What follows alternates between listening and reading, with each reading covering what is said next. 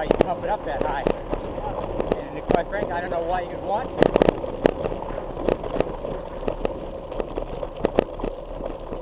I don't even know what the point of that is. That's like